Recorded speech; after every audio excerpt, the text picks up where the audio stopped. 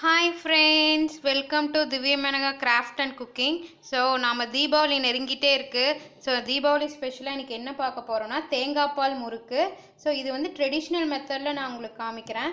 So இங்கே பாருங்கள் நல்லா ஒயிட்டாக தேங்காய் பால் முறுக்கு கிறிஸ்பியாக இருக்குது இங்கே பாருங்கள் ஈஸியாக உடையுது. ஸோ வாங்க இதுக்கு தேவையான பொருட்கள்லாம் பார்க்கலாம். ஸோ தேங்காய் பால் முறுக்குக்கு வந்து பார்த்திங்கன்னா நான் இருந்து இன்னைக்கு இட்லி அரிசி தான் எடுத்திருக்கேன். ஸோ ஒரு நாலு டம்ளர் எடுத்திருக்கேன். கிட்டத்தட்ட ஒரு கிலோ. ஸோ இந்த ஒரு டம்ளர் எடுத்திங்கன்னா எந்த டம்ளரில் அளவு எடுக்கிறீங்களோ எல்லாமே அதே அளவில் எடுத்துக்கங்க. ஸோ நான் வந்து இன்றைக்கி நாலு டம்ளர் இட்லி அரிசி எடுத்திருக்கேன். அதுக்கு உளுத்த மாவு. ஸோ எல்லாமே மாவு கணக்கில் சொல்கிறேன் இதை. உளுத்த மாவு ஒரு டம்ளர். நாலு டம்ளர் இட்லி அரிசிக்கு உளுத்த மாவு ஒரு டம்ளர். கிட்டத்தட்ட இது இரநூத்தம்பது கிராம் இருக்கும்.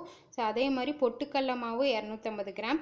ஸோ அப்புறம் வந்து பச்சை மிளகா பார்த்திங்கன்னா காரம் அதிகமாக இருக்கக்கூடாது. பன்னெண்டு பச்சை மிளகா அப்புறம் கருப்பு எள்ளு அப்புறம் தேவையான இதில் பார்த்திங்கன்னா தேங்காய் பாலுக்கு ஒரு ஒரு டே ஒரு டீஸ்பூன் வந்து சுகர் போடணும். ஸோ அப்போ தான் வந்துட்டு தேங்காய் பால் இன்னும் கொஞ்சம் அதிகமான டேஸ்ட் கொடுக்கும். அப்புறம் தேவையான சால்ட் ஸோ தேங்காய் பால் பார்த்திங்கன்னா இது நாலு டம்ளர் தேங்காய் பாலுக்கு ஒன்றரை டம்ளர் கரெக்டாக இருக்கும். ஸோ இந்த டம்ளரில் ஒன்றரை டம்ளர் திக்கான பால் வந்து எடுத்து வச்சுருக்கேன். ஸோ இதெல்லாம் தான் தேவையான பொருட்கள். ஸோ ஃபஸ்ட்டு வந்து இட்லி அரிசியை வந்து நான் ஒரு மணி நேரத்துக்கு முன்னாடி ஊற வச்சு எடுத்திருக்கேன். இதை வந்து நம்ம மா கிரைண்டரில் போட்டு அரைச்சி எடுத்துக்கலாம். வாங்க அரைக்கலாம்.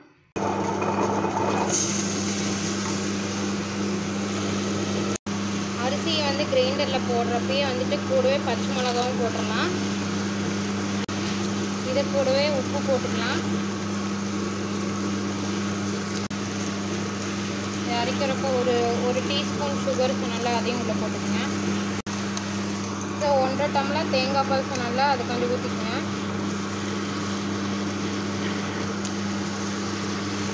அப்பப்போ ஆட்ட ஆட்டவே தேங்காய் பால் வந்து நடுவில் அப்படியே ஊற்றிக்கங்க கூடவே இன்னும் கொஞ்சம் தேங்காய் பால். இது நல்லா வந்து மாவு வந்து நல்லா நைஸாக அரைச்சிருச்சு இது தோண்டிடலாம்.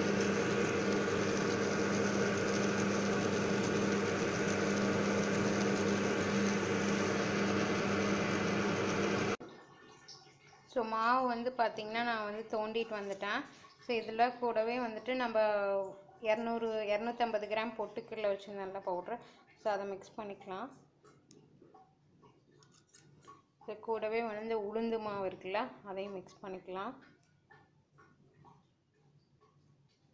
கூடவே வந்துட்டு எள்ளு.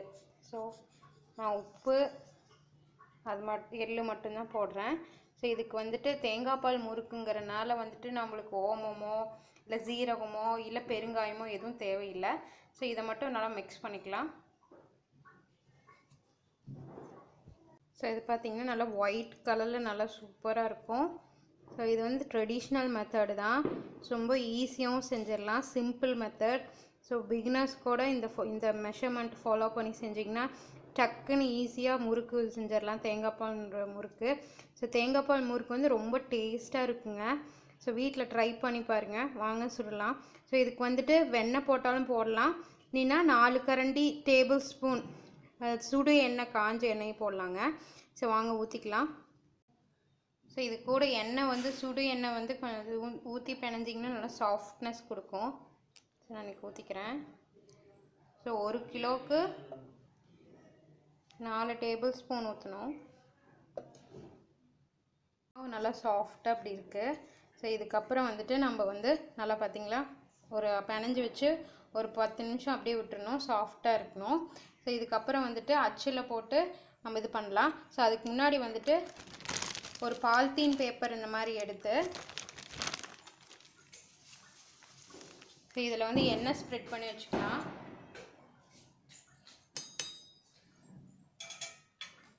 இது எண்ணெய் எண்ணெய் போட்டு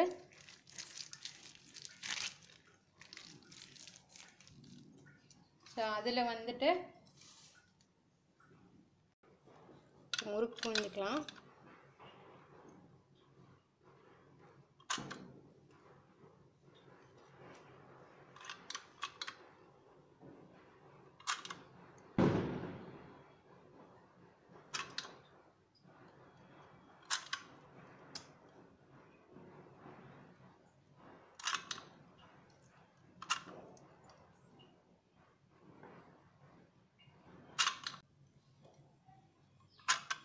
ஸோ இந்த மாதிரி ஒரு பாலித்தீன் பேப்பரில் ஆயில் ஸ்ப்ரெட் பண்ணி இப்படி போட்டு வச்சிட்டிங்கன்னா உங்களுக்கு ஈஸியாக போட்டுக்கலாம்.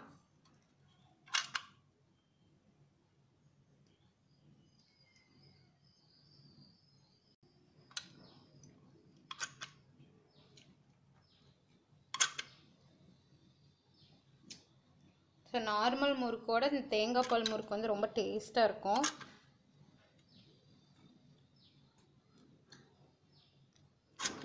ஸோ அளவெல்லாம் இதே மாதிரி மெஷர் பண்ணி நீங்கள் ட்ரை பண்ணி பாருங்கள் இதை ட்ரை பண்ணிவிட்டு எப்படி இருக்குன்னு சொல்லுங்கள்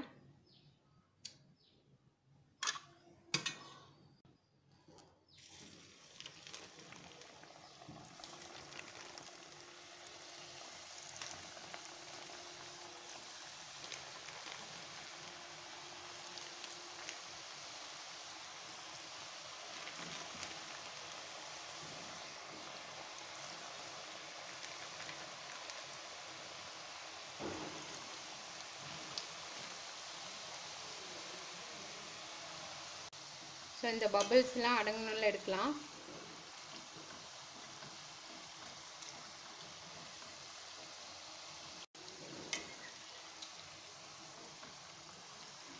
ஸோ பபுள்லாம் அடங்கிடுச்சு